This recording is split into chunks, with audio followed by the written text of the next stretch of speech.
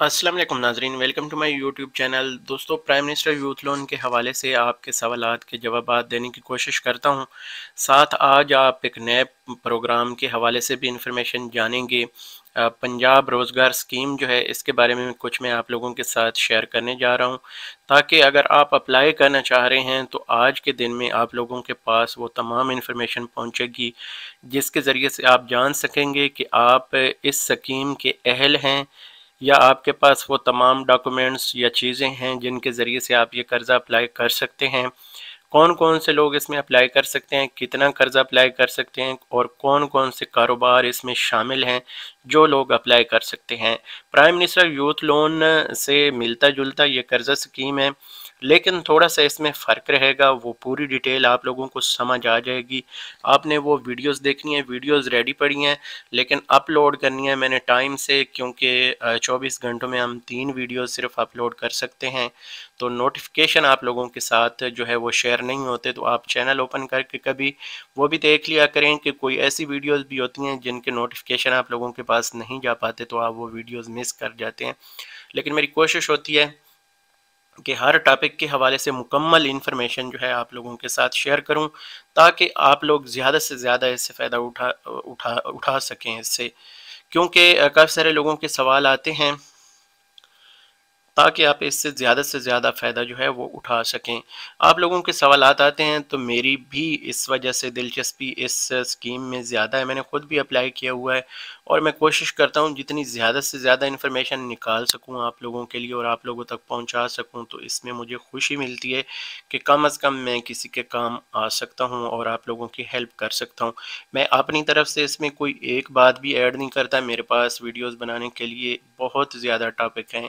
बहुत ज़्यादा काम है, लेकिन ये सिर्फ़ आप लोगों की दुआओं और फरमाइश की वजह से मेरी कोशिश होती है कि आप लोगों के सवाल को शामिल रखूँ और आपके जो ज़्यादा सवाल एक टॉपिक पे जिस पे आते हैं, फिर उस पर मैं वीडियो बना के आप लोगों के साथ शेयर करता हूँ। तो यहाँ पे कुछ सवाल हैं, आपके वे, ये देख लेते हैं। थोड़ी सा टाइम में ये करूँगा, ज़्यादा नहीं कर पाऊँगा इन कल या परसों इस पर जुमे वाले दिन में कोशिश करूँगा कि इसके ऊपर जो है सेकेंड टाइम जुमा नमाज़ के बाद एक वीडियो आप लोगों के साथ डिटेल वीडियो शेयर करूँ लाइव स्ट्रीम के साथ और लाइव स्ट्रीम में, उसके पहले जवाब भी आप लोगों के जो सात सवाल आएँगे, उनके जवाब भी मैं दूँगा। तो यहाँ पे दोस्तों आप देख सकते हैं, अरसलान भट्टी साहब इनकी तरफ़ से सवाल है कि, सर, एक मंथ से ट्राई कर रहा हूँ सबमिट का बटन नहीं आ रहा। तो देखें जब आप फ़ोन से अप्लाई करते हैं या कंप्यूटर से अप्लाई करते हैं सम टाइम हम कोई ऑप्शन छोड़ रहे होते हैं जैसे कि साथ हमें चेक बॉक्स एक मिलता है, उसके ऊपर हमने क्लिक करना होता है। जब तक हम उस पर क्लिक नहीं करते, हमें नीचे सबमिट का बचन बटन जो है वो नज़र नहीं आता। ये एक चीज़ लाजमी आप याद रखें कि जब भी हम कोई खाना जो है खाली छोड़ जाते हैं या स्किप कर जाते हैं तो उसकी वजह से जो है हमें बटन नहीं मिलता। या फिर एक वजह और हो सकती है कि आपके फ़ोन की या कंप्यूटर की स्क्रीन की सेटिंग ऐसी होती है कि आप उस वजह से जो है अप्लाई का बटन देख नहीं सकते। तो आप जो स्क्रीन का अपना साइज़ है, जो आपका, जो ऊपर वर्ड्स लिखे आते हैं, या फॉन्ट साइज़ होता है, उसको थोड़ा सा आप छोटा करें। छोटा करने की वजह से वो पेज जो है क्लोज़ हो जाता है और नीचे तक आपके पास जो पूरा पेज है वो आ जाता है तो वहाँ पे आप सबमिट कर सकते हैं। ये दो वजूहत हो सकती हैं, तीसरी कोई वजह नज़र नहीं आती। ये समटाइम मेरे पास भी होता है। कंप्यूटर के ऊपर मैं काम कर रहा होता हूँ तो मैंने जब कंट्रोल प्लस का बटन दबाया होता है, यानी जो जमा का बटन है कंट्रोल के साथ जो है जमा का बटन दबाएँ तो पेज जूम आउट होता है। तो उसमें जो है हमारा जो पेज के जो वर्ड्स हैं, वो काफ़ी सारे छुप जाते हैं या ज़्यादा हो जाते हैं जूम इन आउट से। तो उसमें फिर जो है हमें मसला होता है, कुछ हमें जो ऑप्शन हैं, वो नज़र नहीं आती तो फिर इसके लिए हमें छोटी स्क्रीन करनी पड़ती है, फिर उसमें जाके नज़र आती हैं।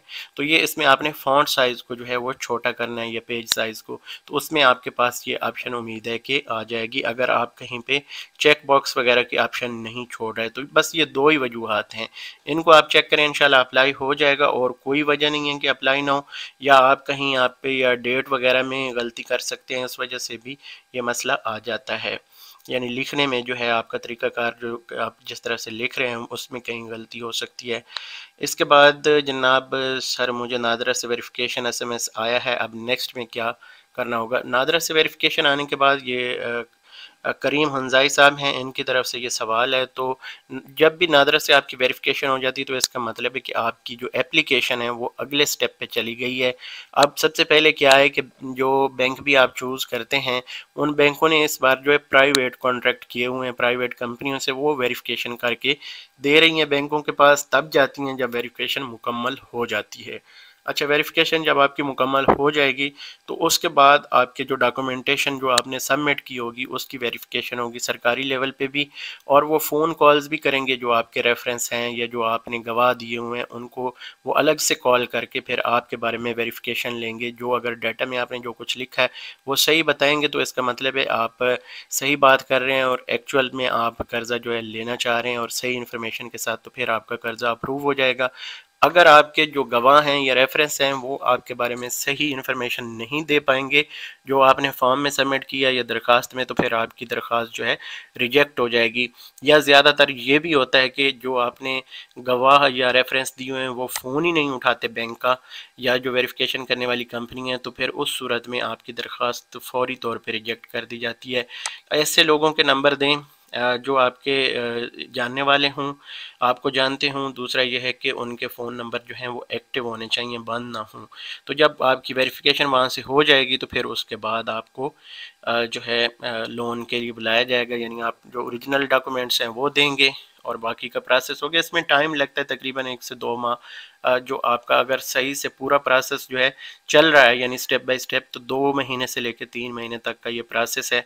कुछ बैंक हैं जो छोटे कर्ज़ों पे जल्दी प्रोसेस करके एक या दो महीनों के अंदर दे देते हैं अदरवाइज़ ये तीन महीने भी लग सकते हैं। इसके बाद मोहम्मद रियाज साहब, इनका सवाल है पंजाब रोज़गार स्कीम के हवाले से। तो वो मैंने आते ही आप लोगों के साथ शेयर किया है।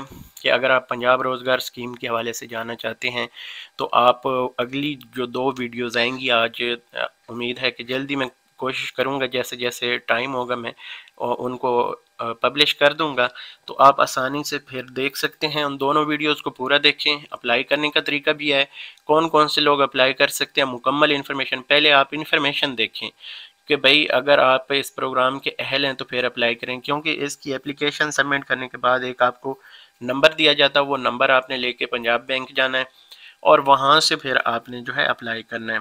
और दूसरा ये कि ये जो स्कीम है, सिर्फ़ पंजाब के रहने वाले लोगों के लिए है, बाकी सूबों के लिए और स्कीम्स होंगी, उनके बारे में भी जल्दी मैं इंशाल्लाह ताला इन्फॉर्मेशन शेयर करूँगा।